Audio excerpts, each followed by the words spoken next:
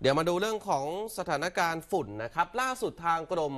ควบคุมมลพิษนะครับ ก็ตอนนี้เตรียมที่จะยกระดับมาตรการในการดูแลเรื่องของฝุ่นละอองนะครับ ค่ะแล้วก็เตรียมที่จะใช้แผนขั้นที่ 2 แล้วนะครับ หากค่าเกิน 90 ไมโครกรัม ต่อลูกบาศก์เมตร 3 วันติดต่อกันนะครับ ก็เตรียมให้ประชาชนนะครับลดใช้รถยนต์ ก็น่าจะมีการเริ่มก่อนนะครับ ที่ข้าราชการให้ทำเป็นแบบอย่างก่อนนะครับ ค่ะอ่า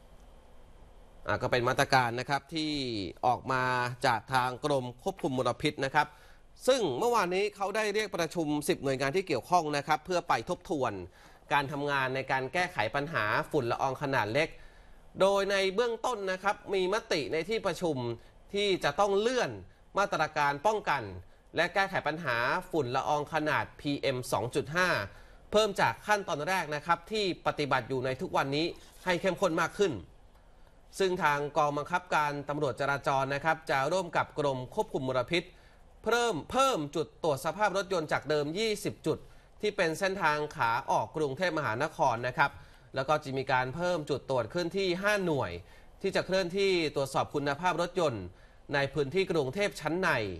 เน้นในจุดที่มีค่ามาตรฐานเกินที่ 50 ไมโครกรัม ต่อลูกบาศก์เมตรขณะที่กรม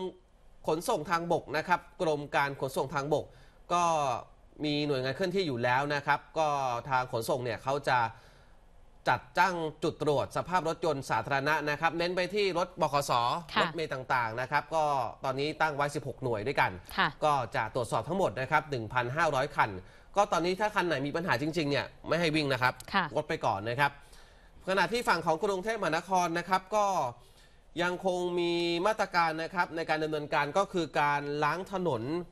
รวมถึงฉีดพ่นน้ำขึ้นสู่บรรยากาศเพื่อลดค่าเฉลี่ยของฝุ่นละอองอย่างต่อเนื่องทุกวันนะครับ ในส่วนของกรมฝนหลวงและการบินเกษตรนะครับ ตอนนี้จะเพิ่มขึ้นบินอีก 1 จุดด้วยกันครับค่ะสำหรับขั้นตอนที่ 2 นะคะ หากพบว่ามีค่าเกิน 90 ไมโครกรัมต่อลูกบาศก์เมตร ติดต่อกัน ตั้งแต่ 3 วันขึ้นไปเนี่ยก็ถือว่าสถานการณ์มีความรุนแรงแล้วนะคะ เจ้าหน้าที่ก็จะยกระดับการป้องกันเป็นระดับ 2 ประกาศใช้พรบสาธารณสุขมาตรา 9 พร้อมกับเสนอให้กับให้ประชาชน ช่วยกันลดจำนวนการใช้รถยนต์ลง โดยจะให้ข้าราชการกระทำเป็นแบบอย่างก่อนนะคะ ก็คือว่าไม่ให้ขับรถยนต์มาทำงานนั่นเอง แต่ถ้าหากสถานการณ์ยังไม่ดีขึ้น ก็จะยกระดับการป้องกันเป็นระดับ 3 โดยให้ปกครองส่วนท้องถิ่นประกาศห้ามเลยนะคะ ห้ามดำเนินการใด ๆ ที่ทำให้เกิดมลพิษ หรือว่าฝุ่นอย่างเด็ดขาด โดยเฉพาะการก่อสร้างต่างๆ ค่ะ ที่มีการวางแผนกันไว้ตอนนี้เนี่ยก็คือมี 3 ระดับด้วยกัน ไปฟังเสียงอธิบดีกรมควบคุมมลพิษกันค่ะ เรามองว่าเราเราแก้ไขปัญหาเป็นเป็นขั้นตอนทั้งสามขั้นตอนนี้ก่อน ถ้าเราจะทำอะไรที่มันประกาศแบบรุนแรงเลยเนี่ยมันต้องคิดถึงภาพลักษณ์ของของประเทศไทยเราด้วยนะครับ หลายอย่างมันต้องดูว่าถ้าประกาศไปแล้วเนี่ยผลกระทบมันจะเสียหายต่อต่อต่อกรุงเทพมหานครเราขนาดไหน วันนี้เรากำลังส่งเสริมการท่องเที่ยวและแล้วก็เรากำลังมีนักท่องเที่ยวเข้ามาประเทศเราเพราะนั้นก็ก็ไม่อยากจะทำอะไรที่มันมันรุนแรงเกินไป แล้วมันเป็นผลกระทบต่อ สำคัญที่สุดคือพี่น้องประชาชนที่ท่านต้องใช้รถใช้ลาในการเดินทาง เราก็เลยคิดว่าเราจะมีเป็นอย่างเงี้ยขั้นตอนอยู่ 3 ขั้นตอนนะครับ อืมก็อย่างที่ท่านอธิบดีพูดนะครับ เพราะว่ามาตรการต่างๆเนี่ยมันเชื่อมโยงกับวิถีชีวิตของประชาชนทั่วไปด้วยนะครับ เพราะฉะนั้นเนี่ย การออกมาตรการก็คงอาจจะต้องปรึกษากันให้รอบคอบก่อนนะครับ ค่ะ แต่ว่าเรื่องของฝุ่นละอองก็ยังต้องที่จะต้องลดนะครับ แน่นอนว่ามาตรการต่างๆ เหล่านี้ถ้าเป็นไปได้ถ้าออกมาจริง ๆ แล้วอืมก็ขอความร่วมมือก็ควรจะปฏิบัติตาม ค่ะ แต่คาดว่านะครับน่าจะปฏิบัติการช่วงสั้นเท่านั้น ค่ะเพราะว่า ให้ผ่านพ้นช่วงนี้ไปก่อนอืมเพราะว่าตอนนี้นะครับทางกรมอุตุนิยมวิทยาเนี่ยออกมาคาดการณ์นะครับว่าระหว่างวันที่ 22 ถึง 24 มกราคมนี้ จะมีความกดอากาศสูงแผ่ลงมาปกคลุมนะครับ ก็น่าจะมีลมเย็นๆพัดผ่าน แล้วก็ทำให้ค่าฝุ่นละอองเนี่ยลดลงไปด้วยนะครับ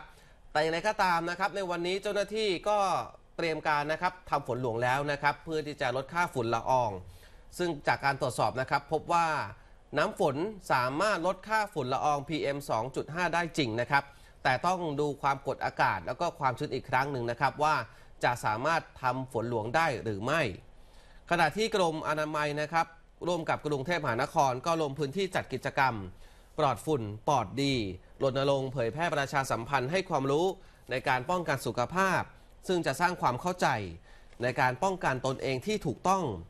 รวมไปถึงการดูแลสุขภาพด้วยการใส่หน้ากากป้องกันฝุ่นอย่างถูกต้องนะครับ นี่พี่ๆวินมอเตอร์ไซค์นะครับค่ะอันนี้จำเป็นมากนะฮะเพราะท่านเนี่ยต้องขับ ตลอดขับขี่ตลอดทั้งค่ะวันนะครับ แล้วก็ฝุ่นละอองเนี่ยเต็มๆเลยนะครับ ค่ะ อืม อยู่กลางแจ้งด้วยนะคะ